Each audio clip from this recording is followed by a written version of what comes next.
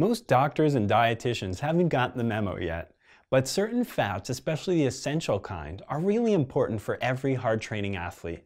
Sure, people used to think dietary fat made you fat, slowed you down, and caused heart attacks.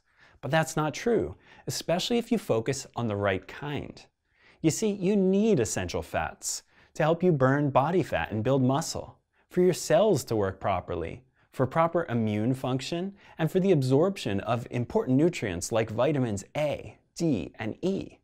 Since your body can't make your own essential fats, you need to get them from foods like fish, eggs, grass-fed meat and dairy, nuts and nut butters like peanut butter, seeds, and oils like olive oil, coconut oil, fish oil, things like that.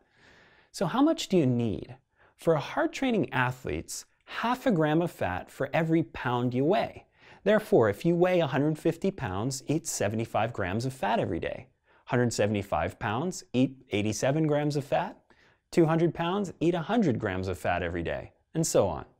To actually do this is really simple.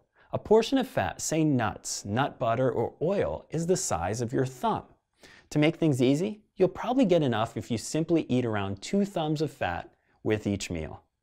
So get your healthy fats, my friends. Oh, and before signing off, I wanted to mention this. If you're interested in learning more about exercise nutrition for yourself or for your clients, click the link in the video description below.